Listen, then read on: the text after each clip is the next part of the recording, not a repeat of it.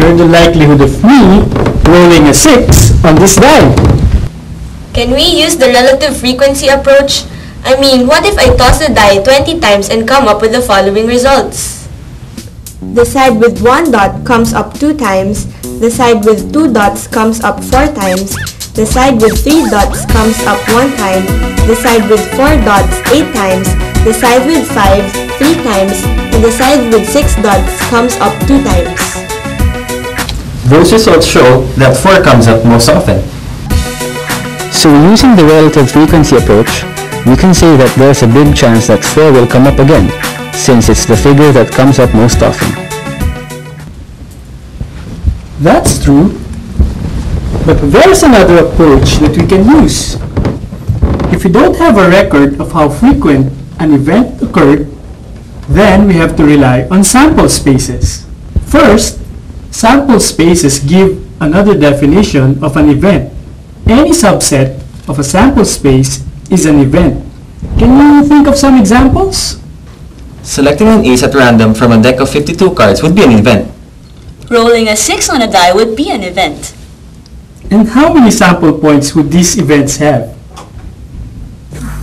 For the event of selecting an ace from a deck of 52 cards, there would be the ace of spades, the ace of hearts, the ace of diamonds, and the ace of clubs. That would make 4 points. For rolling a die for a 6, the sample point is 1.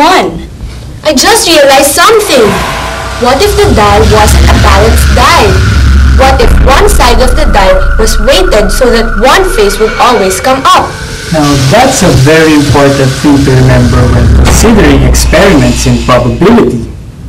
We are assuming here that all the outcomes have an equally likely chance of happening. So we are assuming that the coin and the die are fair and balanced, and the deck of cards is a regular deck. Now, using the ideas of experiment, sample space, sample point, and event, we arrive at the idea of classical probability. Classical probability is defined as follows.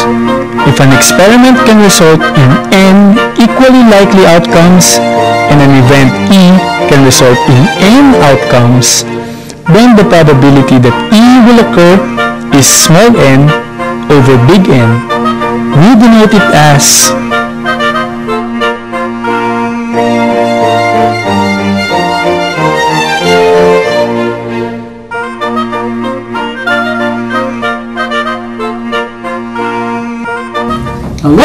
some examples. Now, what's the probability of an even number resulting from a single toss of this die? It would have a sample space of 1, 2, 3, 4, 5, 6. So n is equal to 6. The sample points in the event is 2, 4, 6. So n, even number, equals 3. So the probability of getting an even number from a single toss of this die would be 3 out of 6, or 1 half. Now, what if I tossed a pair of dice? What's the probability that I would get a sum of 7? Each die has 6 possible results. So 2 dice have 6 to 6 results. 6 times 6 is 36. There are 36 results that can come up with 2 dice. So n is equal to 36. And there are 6 sample points that correspond to the event, which is coming up with a sum of 7. We express the 6 sample points as Therefore, the probability of obtaining the sum of 7 is 6 out of 36 or 1 6. I just realized something. I can look at my case with a classical approach. There are 15 students in my class. Therefore, there is one chance in 15 chances that my name will be drawn for recitation. Let's work with more examples. Mike, how many children are there in your family? Um, there are three of us. Okay, there are three children in Mike's family, Let's create a sample space. If there are three children in a family, what gender could these children be? We already know that one of them is a boy. It could be that all three are boys. Or it could be that there are two boys and one girl or two girls and one boy. Can you think of any more possibilities? Hmm, no, I think those are all the possibilities. Great! So that's our sample space with three sample points. So there's one chance out of three chances that Mike has one brother and one sister. I do have one brother and one sister. Using classical probability, let's work with more examples. Try this with us. Figure out the chances of a candidate winning.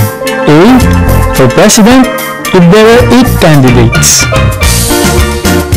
B. For senator, if there are 384 candidates.